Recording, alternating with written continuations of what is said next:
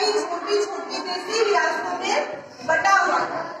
और इनके प्रयासों से भी इन्होंने कुछ रियासतों के साथ अनुनय विनय मतलब उनको कुछ प्रलोभन दिया कि अगर आप भारत में विलय हो जाएँगे तो हम आपको ये चीज़ देंगे या कुछ उपाधि देंगे। और जबकि दो तीन रियासतें जैसे जम्मू कश्मीर जूनागढ़ और हैदराबाद जो कि पाकिस्तान में मिलना चाहती थी कहीं के साथ मिलना चाहते थे तो कहीं की जनता इन्होंने वहाँ पे कहीं पे पुलिस बल का प्रयोग करके कहीं पे हस्ताक्षर से मतलब एक अपना एकजुट प्रयास करके सभी देशी रियासतों को भारत में विलय करवाया।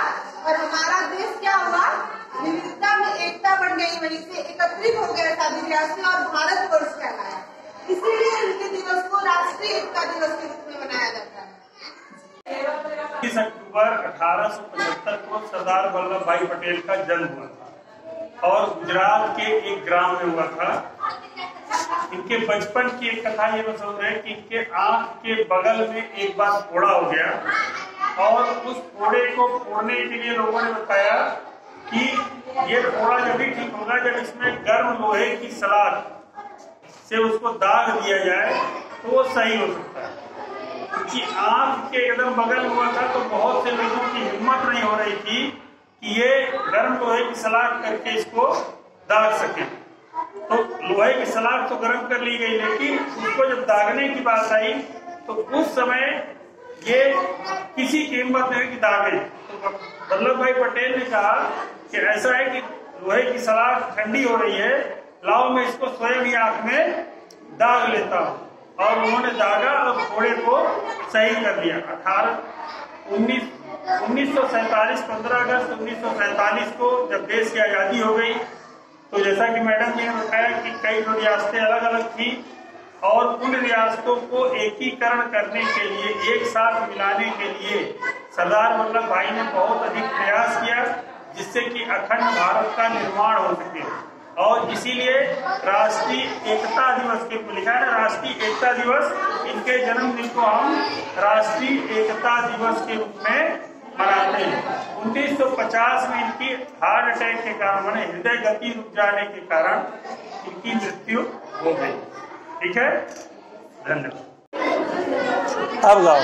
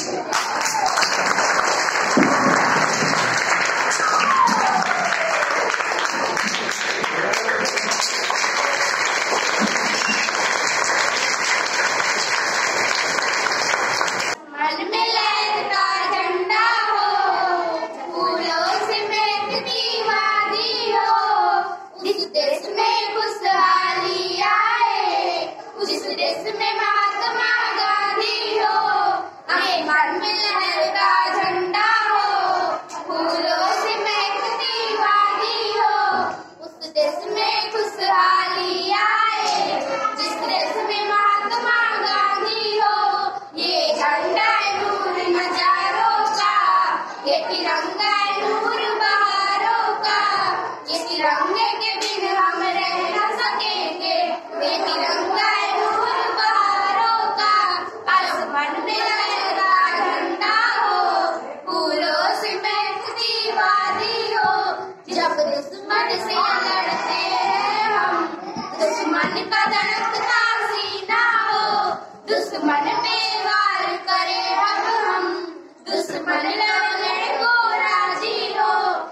मन में